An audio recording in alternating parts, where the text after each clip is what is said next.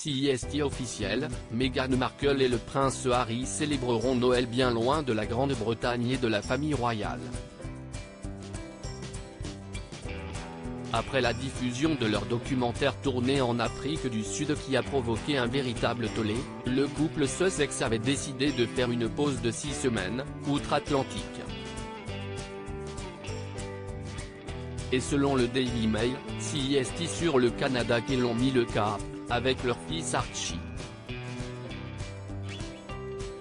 Comme cela a été annoncé, le duc et la duchesse de Sussex passent du temps familial privé au Canada, a précisé un porte-parole du couple princier. Ce n'est donc pas à Los Angeles comme certains l'avaient laissé entendre, mais bien au Canada que Meghan Markle et le prince Harry sont depuis plusieurs semaines. Et si est également là-bas qu'il devrait célébrer Noël.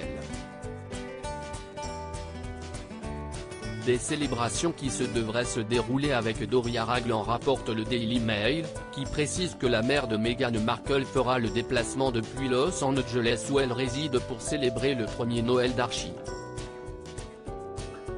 Un pays qui n'a toutefois pas été choisi par hasard par le couple, puisque si est là-bas que la duchesse de Sussex a vécu durant sept ans, notamment pour les besoins de la série Suits, mais aussi, où le couple a passé sa lune de miel. Cette décision de partir au Canada reflète l'importance de ce pays membre du Commonwealth pour le couple, a précisé un porte-parole. Mais si est aussi l'occasion pour l'épouse du prince Harry de retrouver sa meilleure amie Jessica Mulroney, avec qui elle pourrait bien également célébrer les fêtes de fin d'année.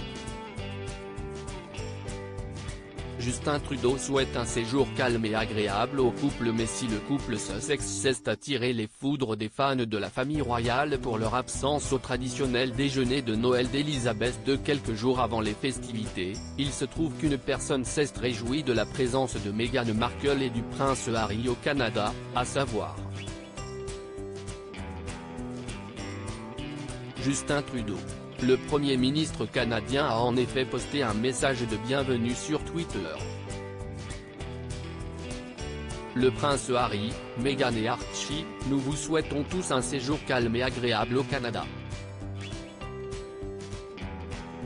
Vous êtes parmi des amis et vous serez toujours les bienvenus ici, a-t-il ainsi déclaré.